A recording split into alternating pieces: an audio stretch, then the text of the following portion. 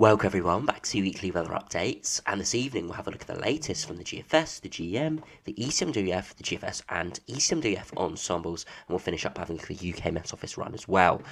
Now, over the last few days, we've been looking at the potential of seeing some quite stormy weather, or if not even some quite cool weather coming in from the north and northwest, typical for this time of year, as we do have the jet stream starting to power up with the polar vortex and stratosphere, and the tropospheric polar vortex going, uh, start, starting to sort of gain power as we do increase the cold over the North Pole. We are also seeing, though, within the latest models, the potential of building up a Scandinavian high at points, which could be some encouraging signs for any wintry lovers out there. It um, for the upcoming winter, um, as if we did see these Scandinavian highs continuing to build over the coming weeks and months, it could start to bring some colder air in as the air over sort of the northern hemisphere does cool down. So do remember, if you enjoy my videos, make sure you like and subscribe. And do remember to follow on Twitter as well, the link's in the description. So if we do run through the latest from the GFS, you can see at the moment we do have high pressure over the south of the UK, quite deep low pressure over towards Iceland, going to bring quite stormy weather there, um, very unsettled conditions, and that could encroach in the far northwest at times over the coming days, and we will be seeing weather fronts trying to push through, and we'll see that on the UK Metis run at the end of the video. The high pressure to our south does eventually give way to low pressure coming in off the Atlantic, but we continually see this pressure build up to our east and the north as well, um, over towards uh, Russia and Scandinavia with this big blocking area of high pressure. Now, this isn't too unusual in the summer months, but we are heading now into the end of September, getting towards the start of October, and we're still seeing this blocking pattern potentially staying um, over Scandinavia. And if we did see this pattern continue throughout the winter, we could start to be drawing more colder air in towards Eastern Europe and towards Scandinavia, which does mean whenever we do get the synoptic pattern of easterly or northerly winds, it's that much colder. So it's an encouraging sign for winter, and we'll have to see how it does develop on the current models. So if we do have a look at the GFS in about a week's time, you can see we are starting to pull in a bit of a northerly winds, which would bring pretty chilly conditions if we do have a look at the upper air temperatures. You can see the zero degree isophone gets through most of the country, if not minus five getting through into Scotland's potentially. Quite a chilly outcome there, typical of um, sort of the amplified jet stream we're seeing. And in the longer term, we continually bring in those sort of westerly winds.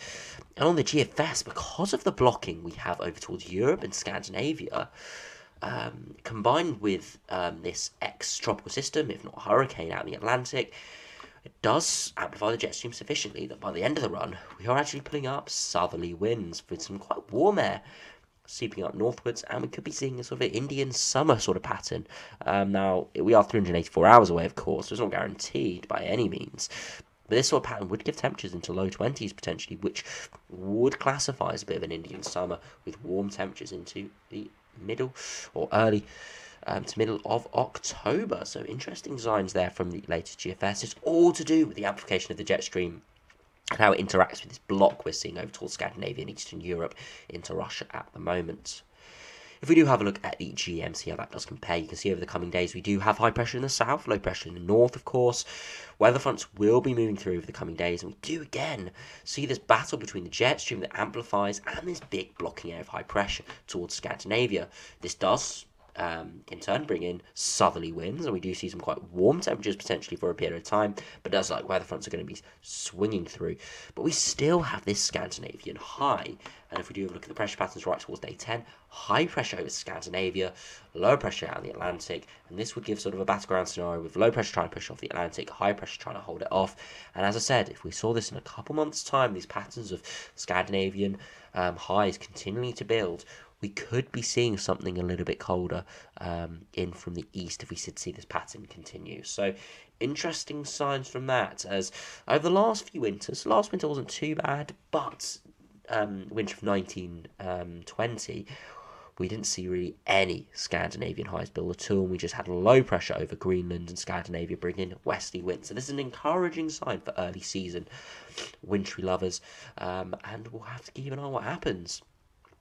If we do have a look at the ECMWF, um, you can see very similar to the other runs with westerly winds. And then we pull up that brief southerly wind with the high pressure trying to block out the low pressure, but it won't be a warm southerly wind as we do have low pressure pushing in off the Atlantic and it does make it all the way through. And towards the end of the run, we do see that Scandinavian high start to bring in an easterly wind. Now, the easterly wind isn't particularly cold, um, at least for the UK it isn't, but on the surface it probably will be a bit chilly. But you can see there is some cold air swinging around into Scandinavia in parts of Eastern Europe. Now, give this a couple months and this air will be 5 10, 15 degrees colder.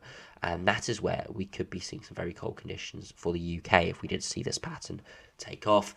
So we'll have to keep an eye on what happens, of course, um, but it's looking encouraging for sort of wintry synoptics as as we get closer to the winter months. If these synoptics continue coming out in the models, it's going to be exciting, uh, to say the least, um, uh, for uh, sort of winter 2020 2021 or sorry, 2021, 2022. Sorry, I get my years muddled up. Um, can't believe it. It's uh, be 2022 next year. So if we do have a look at the ECMWF ensembles, which will show this Scandinavian blocking and the general northern blocking very, very well. If we go out to day seven, it's 168 hours. You can see we still have this blocking around. We've got low pressure out in the Atlantic and to the to the west, pulling in the potential for south or southwesterly winds, so reasonably mild at times, but with that low pressure pushing in, we could be seeing unsettled conditions, of course.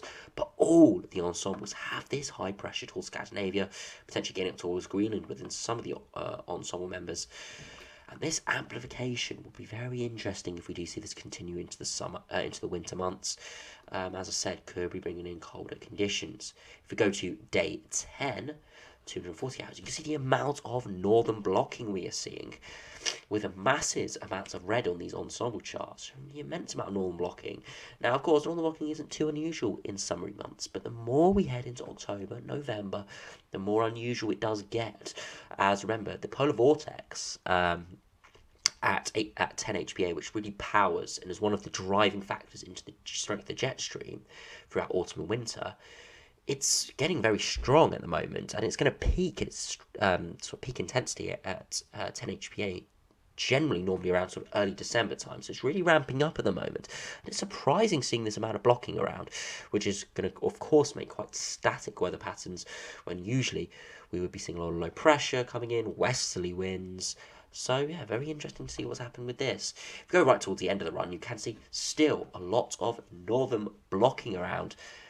Um, probably an unreasonable amount of northern blocking. Probably wouldn't happen like this in exact this sort of scenario, but does show you the amount of sort of static weather there is out there and how we need to keep an eye on this as we head through the next few weeks and the next few months as we head to winter. Now, if we have a look at the GFS ensembles, if we have a look at the 6Z run for London, you can see over the next sort of week or so, or at least five, six days, temperatures are going to be around average, if not quite a bit above average, by a good maybe three, four, five degrees. We're going to continually see decent days where temperatures get into the low 20s, especially in the south and the southeast. Minimal precipitation, however, towards the end of this working week, um, into the weekends and early next working week, that's when we could start to see more showers and precipitation come. And it, again, it all depends on how progressive the weather fronts um, that are coming in from the northwest are. As it does look like we're going to be seeing rain in the northwest of Scotland, just unsure how far south and, and how far east they do go. You can see around the 27th, 28th, we've been seeing this quite a lot of a drop in temperatures. Northwesterly, if not northerly winds moving in with quite cold air mass. Not quite as cold as we were seeing a couple of days ago, but still a reasonably cold air mass with temperatures a good few degrees below average, if not getting down to zero degrees at 850 HPA, which could give the potential of an overnight frost here or there, especially in the north and in sheltered glens of Scotland. But generally, in the longer term, it does look like unsettled conditions, and generally it does look like temperatures will be around or below average, with some going even quite pretty chilly towards the end of the run. So we'll have to keep an eye on what happens with that. If we do have a look at what's happening in Glasgow to give us an idea of what's going to be happening in the north of the British Isles, you can see over the next four or five days we can see temperatures a little bit up and down, typical of a westerly pattern. Precipitation is going to be quite frequent and is going to only increase in frequency over the next week or so, and then does look like it's going to be very unsettled all the way until early October with temperatures below um, or around, or if not quite far below average at times with temperatures around 0 degrees A and 50 HPA, which is pretty chilly. And again, as I said, could bring a few wintry showers here or there over the, the peaks of uh, the northern hills and over Scot- Scottish hills as well, Scottish mountains, and could bring an overnight frost to more widespread areas, uh, potentially if we get the right conditions. If we do now, lastly, have a look at the UK Met Office run, see what that shows over the coming five days, just to give us an idea of what we could be seeing shorter term. You can see at the moment reasonably dry.